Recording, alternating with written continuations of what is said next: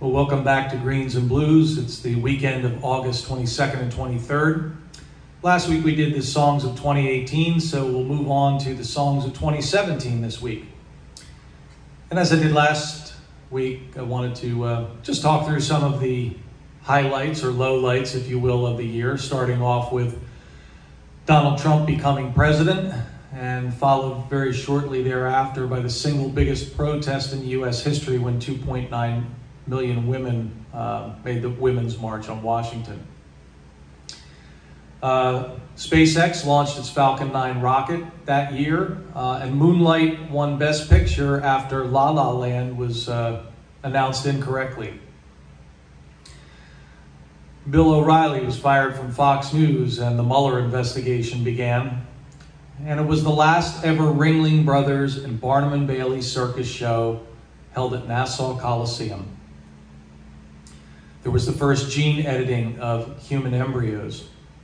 And Jeff Bezos briefly became the world's richest person, passing Bill Gates, uh, whose uh, net worth was over 90 billion at the time, which changed later that day when Amazon's stock price dropped.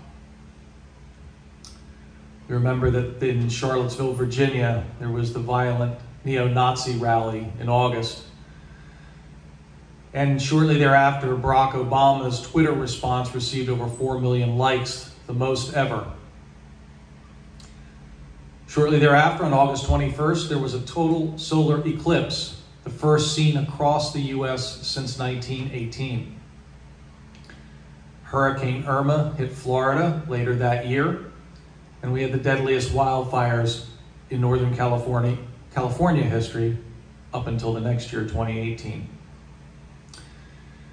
And we lost some uh, famous folks of the world of music Chuck Berry, Tom Petty, Gregg Allman, and Butch Trucks. So maybe it wasn't the best of years, but we also had some great moments locally uh, that we enjoyed and lived life really to the fullest. And we remember those sort of normal times now that we're living in a, a very abnormal time. So the songs from 2017, uh, we're going to do two today by uh, Ed Sheeran, uh, Shape of You and Perfect, and then a Sam Smith song called Too Good and Goodbyes. Enjoy.